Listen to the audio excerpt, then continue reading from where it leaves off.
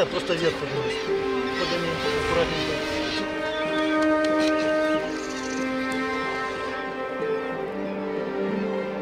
Э, чтобы не было, руки не отпускай. Он назад не должен быть. Значит, у двух пальцев а просто наши пространство.